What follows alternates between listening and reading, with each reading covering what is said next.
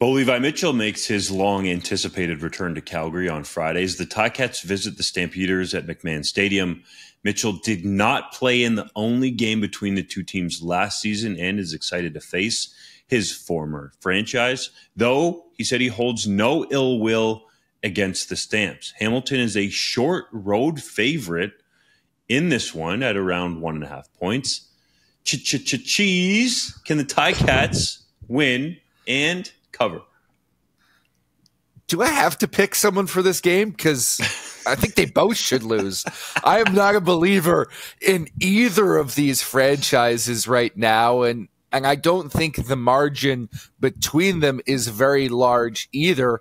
Frankly, I think they're going to be battling for the bottom playoff spot in their divisions if they're in playoff contention at all. And I don't believe in Bo Levi Mitchell having an Anthony Calvillo like resurgence like Scott Milanovich thinks. But for this one game, I do believe that Bo Levi Mitchell can find a little motivation, and that's going to be just enough in his return to Calgary to cover this short spread. I do believe the Ticats can win on the road. I am going to be taking the home side here. I've got the Calgary Stampeders, and the reason for that is if there's one thing the Stampeders did really well in 2022 that they need to get back to after a disappointing 2023, it's running the damn ball, right? BJ Emmons had a very good preseason. Peyton Logan was, I, I, mean, I think is one of the most explosive players in the CFL with the ball in his hands. And Dedrick Mills, I think, is solid. Hamilton has a lot of questions in their linebacking corps, right? Gone, of course, is Simoni Lawrence, who retired.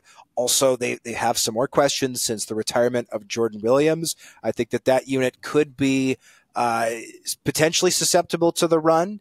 And uh, this is not going to be a high scoring game, right? I don't see this as a big, flashy, high scoring game. I, I see this as a bit of a slugfest.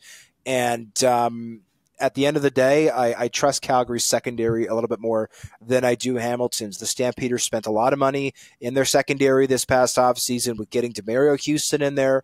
They've completely revamped that unit. I will take the Stampeders, though again, I, I think this is going to be a very tight game.